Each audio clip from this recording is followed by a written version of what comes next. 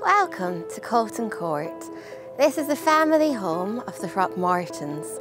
They've lived here for over 600 years and they're an old Catholic family and they've got connections to the gunpowder plot. Today, we're going to take you on a behind the scenes tour of rooms and objects which are not on show to the public. So if you'd like to find out more, follow me.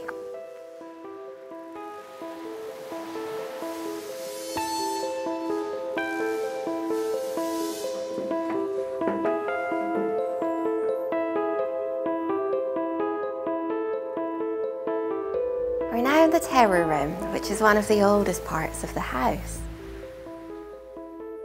This room became the family's secret chapel, which allowed them to still practice their Catholic religion.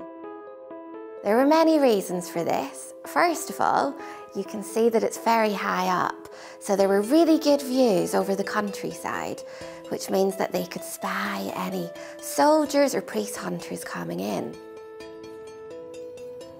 The Throckmorton family of Coughton Court were related to the key conspirators in the gunpowder plot, and the house itself was to be the base for the Midlands uprising.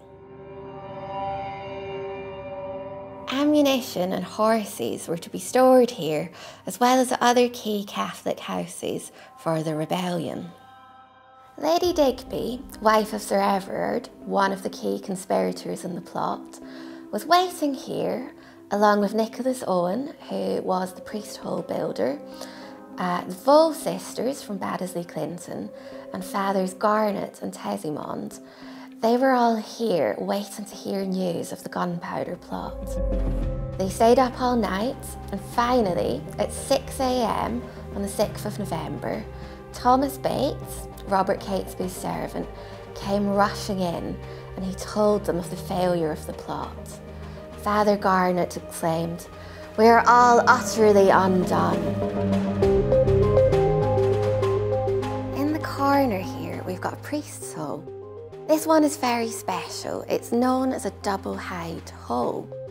Now, that means that there are two compartments.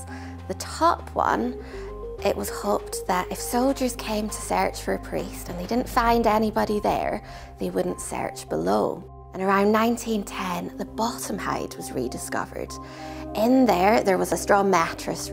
There was a leather altar, a rope ladder with which to get in and out, and fragments of tapestry.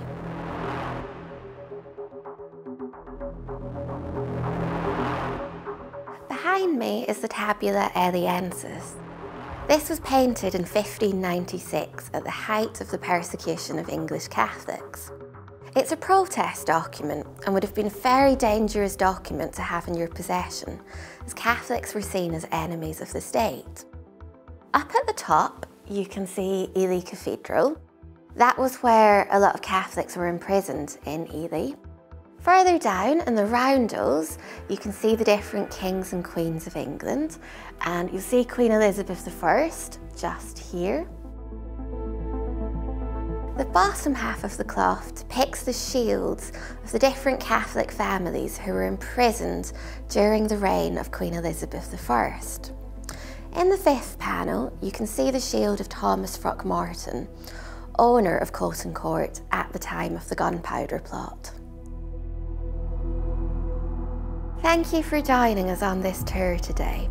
And thanks also for your continued support of special places like Coughton Court.